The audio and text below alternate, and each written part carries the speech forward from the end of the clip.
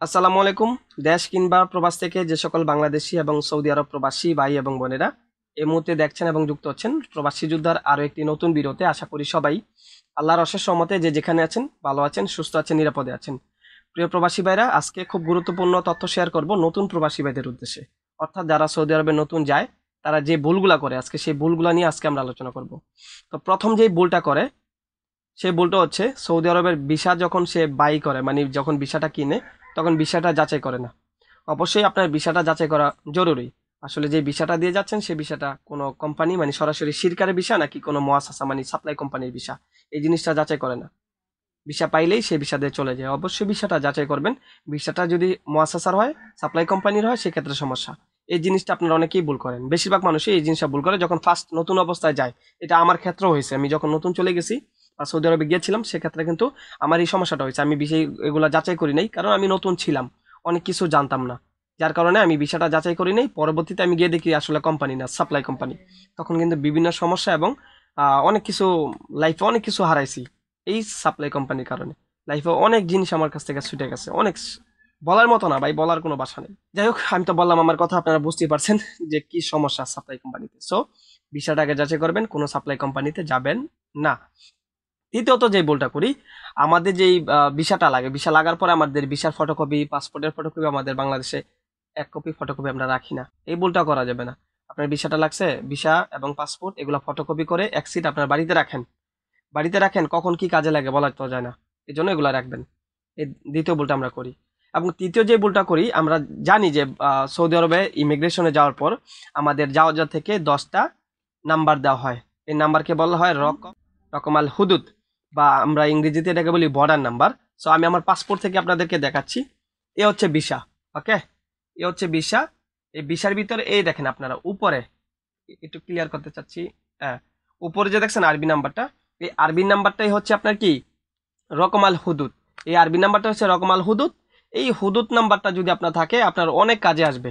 এখন কি কাজে আসবে, সেটা একটু পরে বলব, ঠিক আছে? আর এই বিষয়ে আমি অলরেডি ওই ভিডিওতে আলোচনা করেছি রকমাল হুদুদ।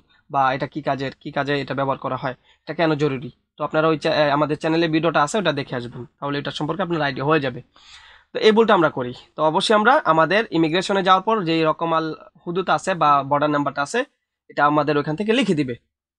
ঠিক আমরা আমাদের পাসপোর্টে যে বিষয়টা বিষয়ের উপরে লেখা থাকবে, এটা আমরা এই ছবি তুলে আমাদের বাড়িতে পাঠিয়ে দিব এবং সেটা ফটোকপি করে রেখে দিব। অথবা নিজের কাছে গুগল গুগল ড্রাইভে অথবা আমাদের জিমেলে রেখে দেব ফটোকপি এটা হচ্ছে রাখবেন, মাস্ট রাখবেন। কোম্পানিকে পাসপোর্ট দেওয়ার আগে হোক অথবা পরে হোক যেভাবেই পারেন, আপনারটা আপনি সেভ করে এটা রাখবেন। এই ভুলটা করা যাবে না, এটা খুব ইমান ইম্পর্টেন্ট একটা বিষয়। কারণ আপনার রকমাল হুদুদ বা আপনার হচ্ছে বর্ডার নাম্বারটা, এটা যদি থাকে, সেক্ষেত্রে আপনি রকম মক্কা তুলতে পারবেন মানে আকামা নাম্বার তুলতে পারবেন, তারপর আপনার মতলব পিন মানে মামলা সংক্রান্ত যে কোনো পিন তুলতে পারবেন, তারপর আপনার গ্রাম আছে কিনা, অনেক কিছু অনেক কিছু আপনি তুলতে পারেন, অনেক কাজে লাগবে এটা। অনেক প্রবাসী আছে যারা আমাদেরকে ফোন করে, বলে যে, ভাই, আমরা বিগত দশ বারো বছর আগে সৌদি আরবের থেকে বাংলাদেশে চলে আসছিলাম। সো এখন আমি সৌদি আরবে ঢুকতে পারব কিনা এই বিষয়টা জানান। তখন আমরা তাদেরকে বলি, ভাই, আপনার আকামা নাম্বারটা অথবা রকম আল হুদুরটা দেন। তখন সেগুলা দিতে পারে না। কারণ অনেক বছর আগে সেইগুলা রাখে নাই। দিবে কীভাবে? যার কারণে সে কনফার্ম হইতে পারে না, ঢুকতে পারবে কিনা। সো এই জন্য এগুলা রাখবেন, অনেক কাজে লাগবে। আর চতুর্থ যে ভুলটা আমরা করি, সেটা হচ্ছে সৌদি আরবে যাওয়ার পর আমরা যেই কাজটা করি, যদি কোম্পানি আমাদেরকে রিসিভ না করে তখন আমরা কি করি? আমাদের আত্মীয় স্বজনকে ফোন করে আমরা সেখানে গিয়ে সেখানে আমাদের নিজের মন মতো আপনার হচ্ছে কাজ করি। যেখানে কাজ পাই সেখানে। গিয়ে কাজ করি ওখানে আমরা অবৈধ হয়ে যাই। মানে কি? আমরা ওখানে কাজ করতে থাকি কাজ করতে থাকি আমাদের অন্যান্য বিষয়ের উপর কোনো ভ্যালু থাকে না। তো এই কাজটা করবেন। আপনি আত্মীয় স্বজনের এখানে যান নতুন মানুষ কোথায় যাবেন? যান সমস্যা নাই। কিন্তু ওখানে যাওয়ার পর দুই চার পাঁচ দিনের ভিতরে বা সাত দিনের ভিতরে আপনি যাওয়া জাতের শর- শরণাপন্ন হন। ওইখান থেকে দেখেন যে আপনার কফিলের ঠিকানা তারা দেয় কিনা বা কফিলের সাথে কানেক্ট করে আপনাকে কফিলের কাছে পাঠাতে পারে কিনা। যদি সেভাবে কোনো ফল না পান সেক্ষেত্রে সরাসরি মক্তবা মেলে চলে যাবেন বা লেবার কোর্টে চলে যাবেন। মক্তবা মেলে গিয়ে আপনি সাধারণ একটা ডায়েরি করবেন। এটা কমপ্লেন করবেন যে সে ভিসা দিয়ে আপনাকে আনছে সেই আর থেকে রিসিভ করে নাই। দেন হচ্ছে? তারা আপনাকে সার্বিক সহযোগিতা করবে। হয়তো আপনার কফিলের কাছে পৌঁছে দিবে অথবা আপনাকে অন্য কোথাও তানাজুল হওয়ার জন্য আপনার যে ডকুমেন্টসগুলো প্রয়োজন সেগুলো তারা ওইখান থেকে আপনাকে সহযোগিতা করবে। তো এই চারটা ভুল আমরা করি। এই ভুলগুলা কখনই আপনারা করবেন না, যারা নতুন যাবেন। ভাই, আমার লাইফে যা ঘটছে, এগুলা বলার মতো না। সো এখন আমরা অনেক কিছু জানি, অনেক কিছু বুঝি, যার কারণে আপনাদের সাথে শেয়ার করি। কিন্তু এগুলা আমরা এগুলা আমরা বোঝার মতো বা আমাদেরকে বোঝাবে এমন কোনো লোক ছিল না। আমি যখন সৌদি আরবে যাই, তখন এরকম ছিল না। অনেক কষ্ট হয়েছে, অনেক বলার মতো না ভাই, বুঝতেই পারছেন বিষয়টা। তো যাই হোক, আপনারা এই চারটা ভুল কখনই করবেন না। এই ভুলগুলা হয়তো আপনার জীবনে সর্বনাশ ডেকে আনতে পারে। আর বিশেষ করে রকম হুদুদ, এটা সাথে রাখবেন বা এটা মুখস্থ রাখবেন দরকার হলে না হলে ছবি তুলে রেখে দিবেন। এটা গুরুত্বপূর্ণ একটা বিষয় রকম হুদুদ ছাড়া আপনি কোনো কাজই করতে পারবেন না।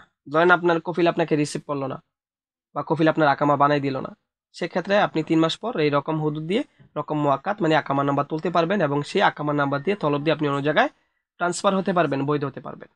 এই জন্য এই ভুলগুলো করা যাবে না। তো আজকে এই পর্যন্ত আমার বিনীত অনুরোধ থাকবে যদি প্রবাসীদের প্রতি আপনার কোনো মায়া থাকে বা প্রবাসীদের প্রতি কোনো শ্রদ্ধাবোধ থাকে এবং তাদের পাশে যদি আপনি থাকতে চান বা সহযোগিতা করতে চান, সেক্ষেত্রে আপনার যে কর্তব্য সেটা হচ্ছে এই ভিডিওটা শেয়ার করে দেওয়া আমি চাই যারা আপনার এই ভিডিওটা দেখবেন, তারা প্রত্যেকে এই ভিডিওটা শেয়ার করবেন। কারণ হয়তো আপনার একটি শেয়ার হয়তো আরেকটা মানুষের উপকার হবে। তো সবাই ভালো থাকবেন শেয়ার করা না করা এটা আপনার উপর, আপনার বিবেকের উপর, আপনার ভালো লাগলে করবেন, না হলে নেই। আমি আপনাকে বলি নাই যে আমার একটা ভিডিওতে লাইক দেন, আমার লাইকের প্রয়োজন নেই, আমি চাই এই ভিডিওটা যাতে সবাই দেখুক, সবাই বুঝুক, যাতে তাদের একটু হলেও উপকার হয়। আর এটাই আমাদের সবসময় সময় প্রত্যাশা থাকে আমাদের চ্যানেলের উদ্দেশ্যে। তো সবাই ভালো থাকবেন। আজকে এ পর্যন্ত। Thank you so much good bye